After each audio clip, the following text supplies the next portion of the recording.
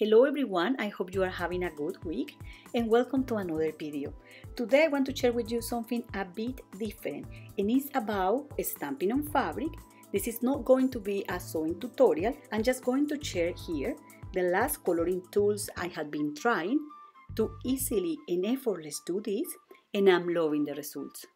In previous videos, I shared how to stamp on fabric with another black ink and as I was struggling to find another ink colors to do that, I start using acrylic paints. So there is another video as well I made using acrylic paints and I'm also going to link the video in the video description. There are some tips and tricks in those videos, so if you are willing to know how to stamp on fabric, it's worth it to have a look to those videos and check your different options. This year, Tonic Studios launched to the market their new hybrid inks. They come in six different colors and behind the impact on the label it says they are ideal to stamp on card, glossy surfaces and fabric. You need to heat set them for them to be permanent and I have been trying them for a while and all I can say is that they provide better image definition and durability after washing.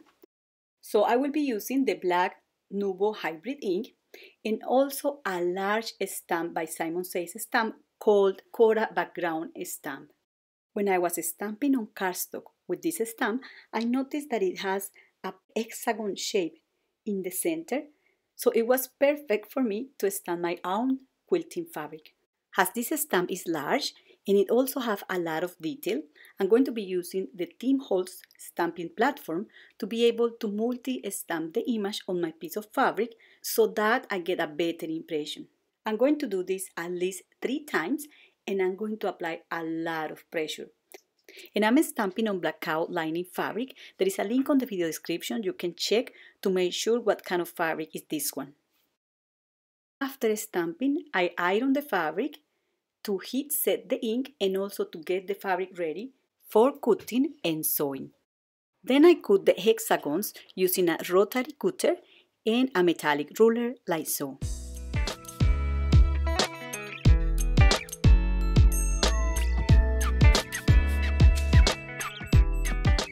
Now it's time to add colors and I'm going to be using Nuvo Creative Pens to do this. I'm absolutely happy with the performance of these pens on fabric because the ink doesn't bleed at all.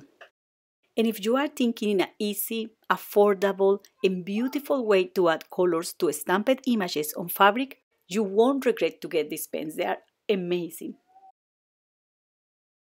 I also think that this video and the pictures I'm sharing in my blog today are going to tell more than myself about the coloring results with these pens.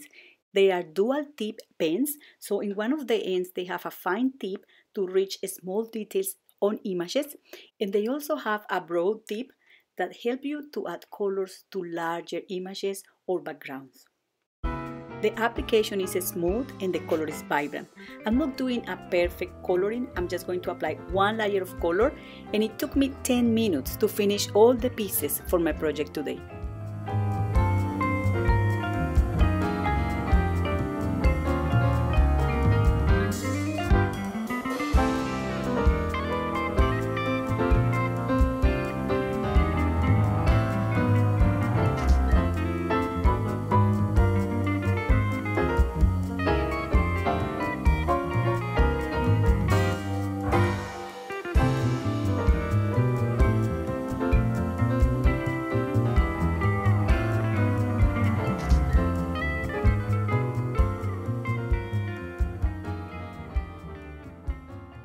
I was making a small experiment with water, but sadly the camera went completely blur.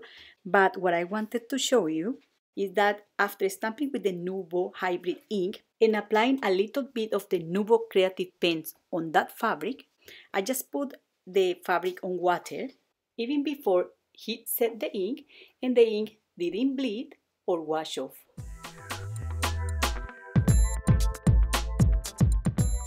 Another thing I have been doing recently with my stamped projects on fabric is that I'm embellishing with Nuvo drops.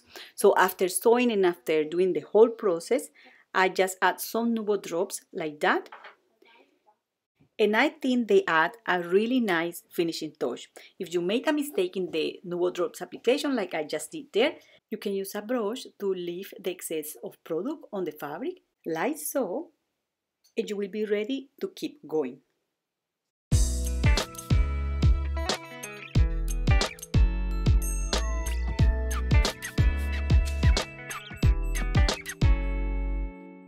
And this is the fabric finish.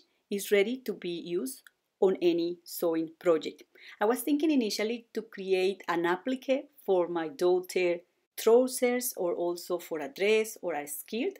Then I remember that I have a couple of purses like this one you are seeing in the screen and I bought them from a charity shop because I really wanted to reuse the handles or any metallic fitting they have. So what I did was putting the handbag completely apart like you can see there. This is a process which is really quick, it's not that difficult. And once I have this apart, I got all the metallic beads for my new project. And more importantly, I got the pattern. So all I did was cutting the pieces of fabric according this pattern. And then I have to rethink how to put the bag together because this was made out of cardboard so it's completely different than sewing with interfacing and also with lining. I'm also upcycling my husband's jeans. I got these pieces from the legs of the trousers. So I also wanted to give you this upcycling idea. You can make a purse in so many different ways or just a little pouch or many many other things with this stamp and blackout fabric there are many, many tutorials to sew bags online. And also, if you don't want to make the hexagon pieces because they might be a little bit tricky for you to put together, you can just stamp the whole square or the whole background and you can get square pieces and larger pieces.